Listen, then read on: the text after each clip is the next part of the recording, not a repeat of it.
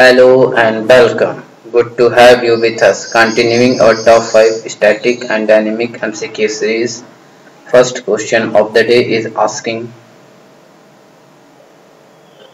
Paisa portal for affordable credit and interest subvention access is developed and designed by option A SBI Bank, option B HDFC Bank, option C Axis Bank, option D Allahabad Bank.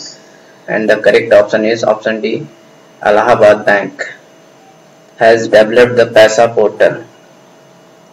Moving to our second question, Naresh Chandra Committee was constituted for the option A for defense reforms in India, option B education reforms in India, option C foreign trade reforms in India, option D tax reforms in India and the correct option is option A. Naresh Chandra Committee was constituted in 2012 for the defense reforms in India.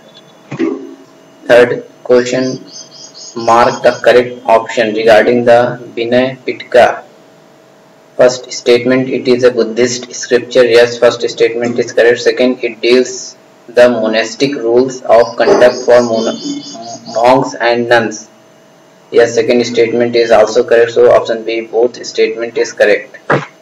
Moving to a fourth question.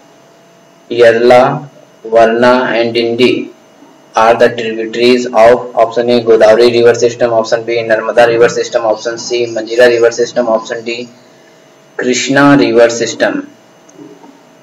And the correct option is option D Krishna river system. Yarla, Varna and Dindi are the tributaries of Krishna river system. Moving to our fifth question, under which article of the constitution no discussion shall take place in the legislature of a state with respect to the conduct of any judge of the Supreme Court or a High Court in the discharge of his duties. First option option A Article 210, option B Article 211, option C Article 213, option D Article 214 and the correct option is option B Article 211 under which no discussion shall take place in the legislature of a state with respect to the conduct of any judge of the Supreme Court or a High Court in the discharge of his duties. So option B 200 Article 211 is correct. So thanks to all viewers and subscribers of our Last Mile Approach YouTube channel. Please like, share, subscribe and support our initiative.